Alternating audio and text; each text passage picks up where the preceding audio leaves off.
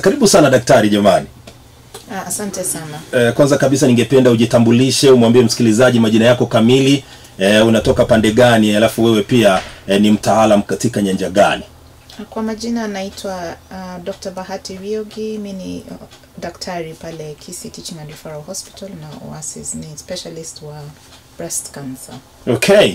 Eh, asante sana daktari na ningependa kwanza nikushukuru kwa kupata muda wako eh, kuingia katika studio zetu hapa za Kisia Farm kwa minajili eh, labda ya kumjuza msikilizaji na kumfahamisha eh, kuhusu swala zima uh, la gonjwa hatari pia eh, la breast cancer. Kwanza kabisa daktari wacha tuanze kujua breast cancer ni nini na ni nini kinasababisha huu ugonjwa Uh, breast cancer ni saratani ya matiti. Ile tunajua matiti yanapatikana katika kifua. Uh, wanawake na wanaume pia wana matiti, na hii ugonjwa ni saratani ya sehemu ya matiti na inaweza ikafanyika kwa wanawake na kwa wanaume pia.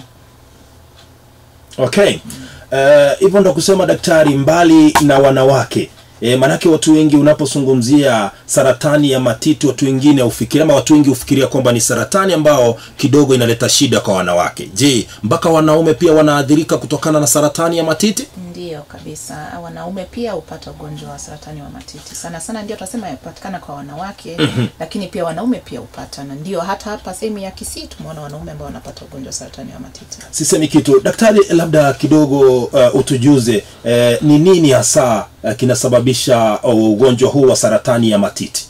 Tukiangalia katika uh, kitu ambayo inasababisha ugonjwa wa saratani, watu tunaangalia kusema ni nini risk uh, um, utanisaidia katika kutranslate kwa Kiswahili na hatari hatari zile pa ndio ambayo, ambayo ambaye inasababisha hiyo ugonjwa wa, wa kansa. Tukiangalia kansa, kwanza tunasema kuwa kuna cells zile ambazo ziko kawaida ambazo zinabadilika zinakuwa sasa abnormal ambazo tunaweza saratani ya makansa. Kuna vitu ambazo zinasababisha hiyo um, kubadilika kwa cell kutoka kuwa normal kwenda katika sehemu ya kansa, na katika tukiangalia sasa ugonjwa wa, wa, wa kansa wa matiti tuna haswa tunaongelea mambo kama uh, hormones ambazo zinaweza zikasababisha. So vitu ambazo zinaweza fanya estrogen iwe kwa upande wa juu. Mm-hmm. sana sana tutaongea kuna vile tunazo um, zuia na zile ambazo hatuwezi zuia. Mm-hmm. moja ni kama kusema mwanamke. And the fact that we ni mwanamke female inasababisha unapata you are more at risk of getting breast cancer compared na mwanaume. Ndio kwa sababu tunasema pia ni common kwa wanawake uh, compare na wanaume. Mm-hmm.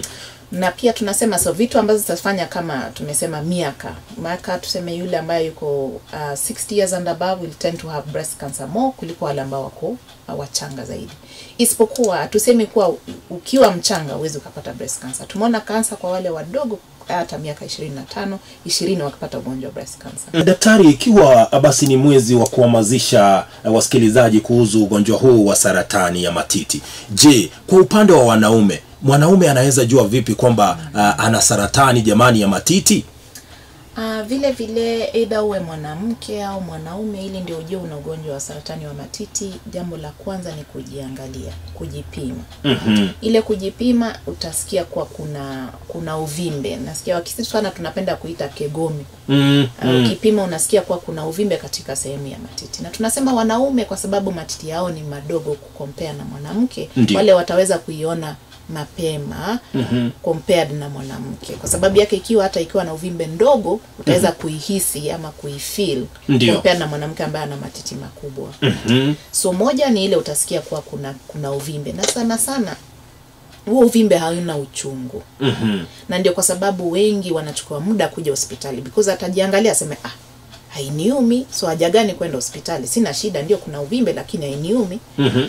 na so sana sana ni uvimbe ambaye haina uchungu mm-hmm. ambayo inaweza ikawa inaongezeka kwa size over time so inaanza ikiwa ndogo na inaongezeka mm-hmm. inaendelea kukua kubwa mm-hmm. wengine wanaweza kuwa na uchafu katika nyonyo uh, eh, daktari eh, unazungumzia uh, pande zote mbili kwa upande wa mwanaume na mwanamke ndio mm-hmm. eh, vile ina inaonekana kwa mwanamke na mwanaume ni the same mm-hmm. tofauti mm-hmm. yes.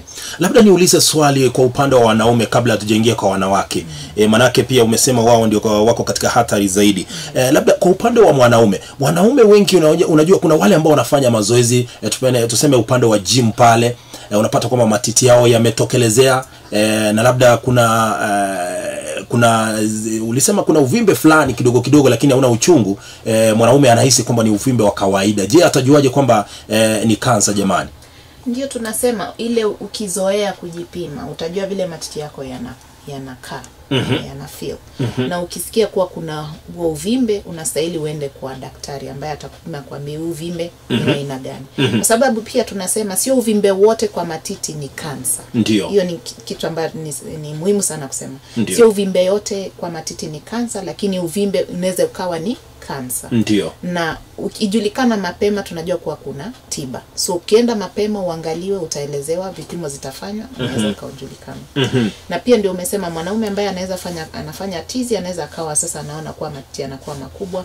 Kuna maswali mengine ambayo tutataka kujua. Kuna madawa ambayo wanatumia mm-hmm. ili tuelewe hiyo vimbe ni aina gani. Infection pia inakuja kama uvimbe. So kuna kuna mm, mambo mengi ambayo yanasababisha matiti kuwa na uvimbe. Mm -hmm. Mm -hmm. daktari eh, labda kwa upande wa wanawake manake tumezungumzia wanaume kwa kiasi fulani. Wanawake na ambao ndio wako katika hadhari zaidi je wao watajuaje kwamba wana saratani ya matiti? Ile tu pile nimesema tena mwanamke mwanaume eh, kujua ni ni ni same. Mm. kujiangalia. Na ndio tunasema uh, ji, jijue ile ukijijua utajua wakati jambo si kawaida mm-hmm. tunasema kujiangalia sana tunasema kujiangalia ni kujipima tunasema okay. una unatoa una ukiwa katika chombo chako cha nyumbani bedroom bathroom umetoa top na bra unaweza kujipima kwa kutumia mkono una, unasikia matiti yako vile yana yana feel mm-hmm. ile ukiangalia kwanza utaangalia uone zinatoshana kuna shida fulani na shida unaangalia utaweza ukaona ah mbona hii moja inakuwa kama ina uvimbe side moja?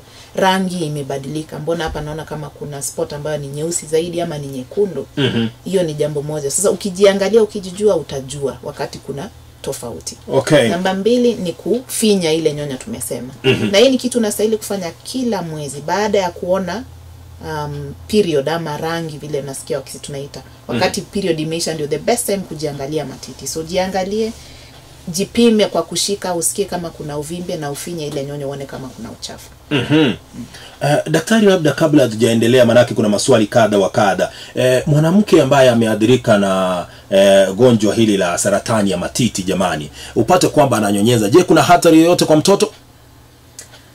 Huu ugonjwa pia unapatikana kwa wanawake ambao wananyonyesha pia. Haimaanishi mm -hmm. wakati mwanamke ananyonyesha akaweze pata ugonjwa wa saratani na wakati umepata ugonjwa wa saratani na unanyonyesha hilo ni jambo ambalo mtaweza kuongea na daktari ambayo mtaweza kuhusishwa ili unakuwa advised what to do. Kwa sababu kuna matibabu ambayo utakuwa unapata uh, kuna ile tunaita chemotherapy kuna ile tunaita radiotherapy. So hiyo ni mambo ambayo utaweza kuongea na daktari. Mm-hmm. lakini pia ni jambo mzuri ya kusema kuwa hata wale wajawazito wanaweza wakapata ugonjwa wa saratani wa matiti. Wale wanaonyonyesha pia wanaweza wakapata ugonjwa wa saratani wa matiti. Mm-hmm. kwa hivyo kwa maisha ya mwanamke wedha uko na mimba hauna mimba unanyonyesha haunyonyeshi jiangalie kwa sababu ugonjwa unaweza ukuja wakati wowote. So daktari ni kusema kwamba inabidi kwamba e, mtu awe akitembelea hospitali mara kwa mara ku, ku, kujua hali yake hasa umesema ukweli kabisa. Mwanamke anastahili kupimwa kujipima mwenyewe kila mwezi kwenda hospitali kupimwa mara moja kila mwaka at least unapimwa na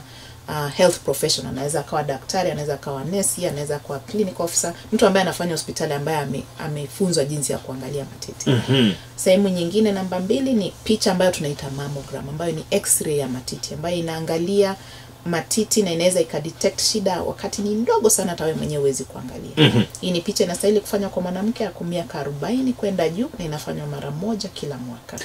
Daktari eh, kwa upande wa wanawake pia na wanaume kuna wale ambao daktari manake sisi zote hatufanani na hatuna uwezo wa kufikiria njia moja.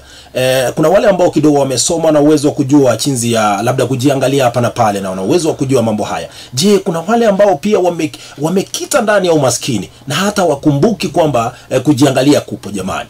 Na unaweza pata wako katika hadhari zaidi. Hawa wanaweza saidiwa vipi? Ndiyo tunasema kujipima ni bure. Kwa sababu watumia tu mikono yako jamani. Mm-hmm. mikono tuna ile kujizoeza kujizoesha kwamba lazima nijiangalie. Mm-hmm. once you make that a routine it becomes normal. Haijalishi una hela ngapi haijalishi una bora una mikono na una matiti. Mm-hmm. utajipima daktari sasa tuseme kwamba e, mtu amekwisha patikana na saratani. Je atafanya nini? Ama ataelekezwa kivipi? A, jambo la kwanza kabisa, wakati unaelezea mtu kuwa na ugonjwa wa, wa saratani, ijalishi matiti ama sehemu gani, ni ile kushtuka. Unaona kuwa maisha yake imeisha, anaona kuwa ni kifo, labda kesho aoni kama atafika. Namba ya kwanza ni kuambia yule you know, mgonjwa mbele yangu ni kuwa jikubali kwanza. mm -hmm.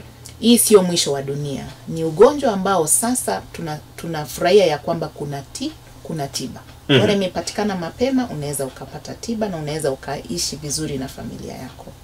mm -hmm. Mtu akiweza kukubali, hiyo ndio jambo la kwanza ambayo itasaidia matibabu kwenda mbele, na matibabu yatavari kudepend na na type, kwa sababu tunaongea ndio ugonjwa wa saratani wa matiti, lakini type ni tofauti mm -hmm. na matibabu yake huwa naambia wagonjwa wangu ni aina tano. Inaweza kuwa na kupasuliwa unaweza ukapata dawa ambayo tunaita chemotherapy ambayo unapatiwa katika mshipa, inapatiwa moja mara moja kila wiki tatu. Kuna ile tunaita radiotherapy amba, ambayo sehemu hii tunaita kusambereriwa na huwa nina ninaulizwa na mgonjwa, mbona inaitwa hivyo? Kwani tunaenda kuweka kwa moto? Hala, hamna moto ambayo mtu amepatiwa, ni ile tu kuna miale miale rays ambayo ina- unawekwa hapo kwa matiti mm -hmm. na namba nne kuna ile tunaita targeted therapy ambayo ni special type of treatment ambayo mgonjwa anapatiwa na kuna wengine wanapata tembe. Daktari ikiwa basi ni mwezi wa kuhamasisha wasikilizaji eh, kuhusu ugonjwa huu wa uh, saratani ya matiti ujumbe mkubwa ni upi? Ujumbe mkubwa ni kwamba mtu kion, ukipatikana na huu ugonjwa mapema mm -hmm. kuna tiba. Ndio. Ndio. Na ndiyo tunasema kansa siyo kifo watu wengi wame, kwa muda wanajua kwa mtu ukipatikana na ugonjwa wa kansa inamaanisha unaenda kufa. Mm -hmm. hiyo ni kusema kuwa kansa ina tiba na kansa sio kifo